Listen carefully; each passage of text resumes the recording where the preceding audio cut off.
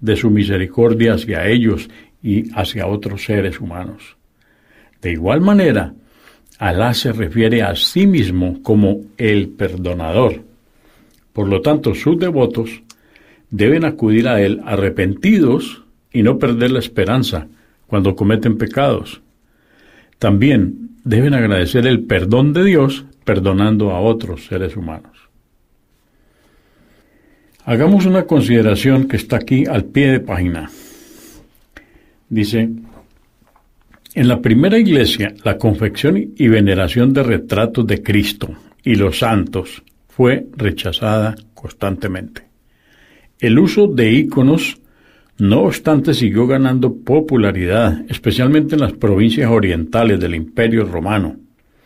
Hacia el fin del siglo VI después de Cristo y principios del VII, los tales íconos se convirtieron en el objeto de un culto alentado oficialmente, a menudo con implicaciones supersticiosas y su animación.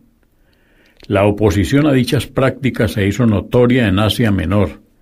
En el año 726, el emperador bizantino Leo III se opuso públicamente a los íconos y en el 730 se prohibió oficialmente su uso. Esto llevó a la persecución contra los devotos que alcanzó una amplia repercusión en el reino del sucesor de Leo, Constantino V. Esto es en el año entre los años 741 y 775 después de Cristo.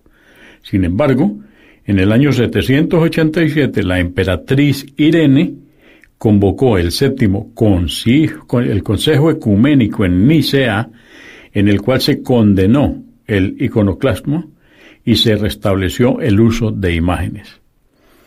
Los iconoclastas recuperaron el poder en 814 después de la asunción al trono de Leo V y se volvió a prohibir el uso de iconos en un consejo en el año 815 después de Cristo. El segundo período iconoclasta terminó con la muerte del emperador Teófilo en el año 842. En el año 843, su viuda restauró la veneración de íconos y se celebró un evento en la Iglesia Ortodoxa Oriental, conocido como la Fiesta de la Ortodoxia.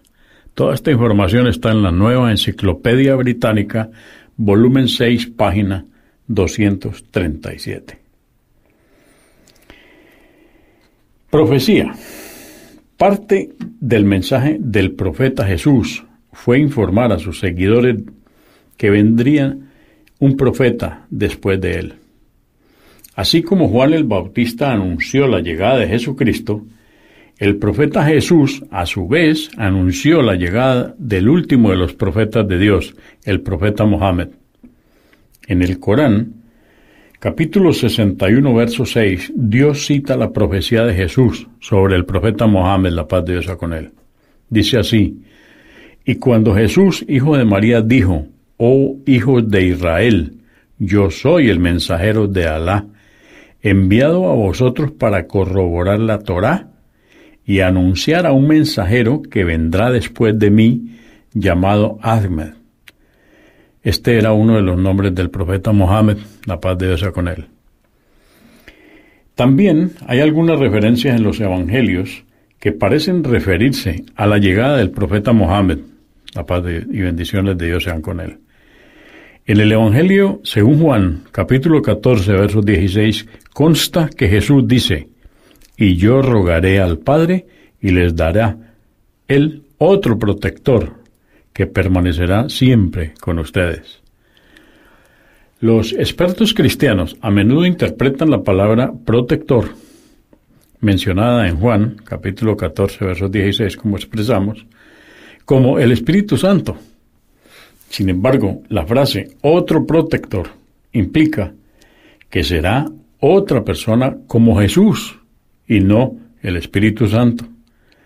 Especialmente considerando Juan capítulo 16, verso 7, donde Jesús dice lo siguiente, Pero es verdad lo que les digo, les conviene que yo me vaya, porque mientras yo no me vaya, el protector no vendrá a ustedes.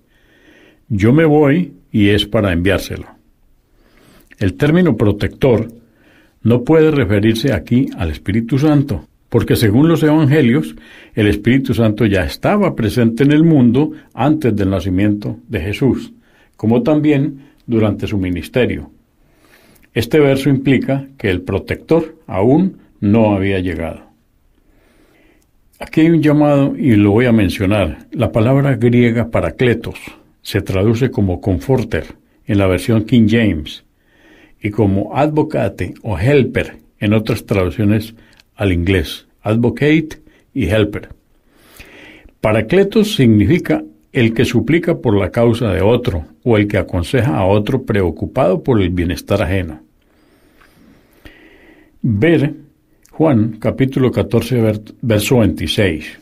En adelante, el Espíritu Santo, el intérprete que el Padre les va a enviar en mi nombre, les enseñará todas las cosas y les recordará todo lo que yo les he dicho. Sin embargo, en 1 Juan capítulo 4 verso 1 se utiliza el término espíritu para referirse al profeta. Queridos míos, no se fíen de cualquier inspiración Examinen los espíritus para ver si vienen de Dios, porque andan por el mundo muchos falsos profetas. En español, la palabra otro puede significar otro de la misma clase o otro de otra clase. El texto griego del Nuevo Testamento utiliza la palabra alon, con doble L, alon, que es el acusativo masculino de alos, significa entre comillas otro de la misma clase. La palabra griega que significa otro de la misma clase es heteros, pero el Nuevo Testamento no utiliza esta palabra en Juan capítulo 14 versos 16. Esto está en Jesús, un profeta del Islam, en las páginas 15 y 16. La declaración de Jesús de que el profeta protector permanecerá junto a ustedes por siempre puede interpretarse como que no habría necesidad de que más profetas sucedieran a este protector. Él sería el último de los profetas de Dios cuyo mensaje se conservaría hasta el final del mundo.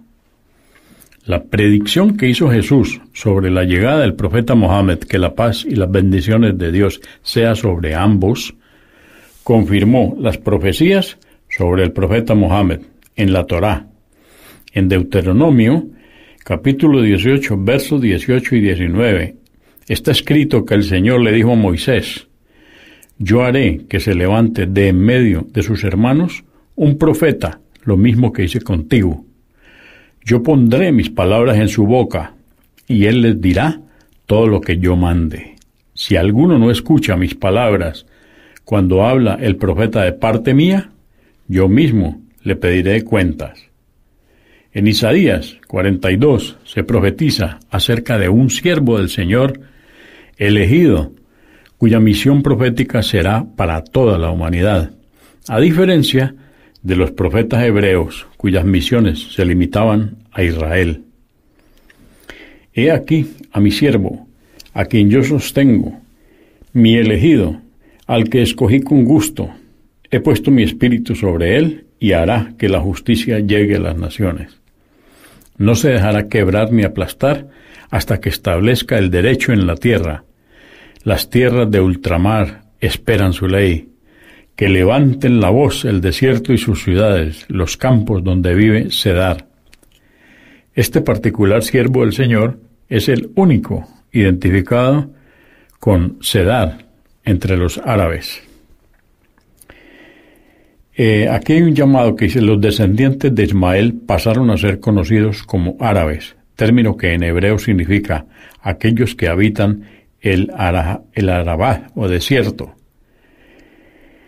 El más conocido de los doce hijos de Ismael es Quaidar, Sedar en hebreo. En algunos versos de la Biblia, Quaidar es sinónimo de árabes en general. Está en Jeremías capítulo 2 verso 10. Ezequiel capítulo 27 verso 21, Isaías capítulo 60 verso 7. Canto de Salomón capítulo 1 verso 5. Jesús, un profeta del Islam, en la página 11. Después de haber visto hasta aquí en este mensaje sobre el verdadero mensaje de Jesús, ahora veamos este capítulo que se llama El Camino.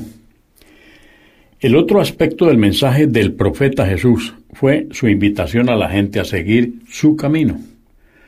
Los profetas traían leyes divinas,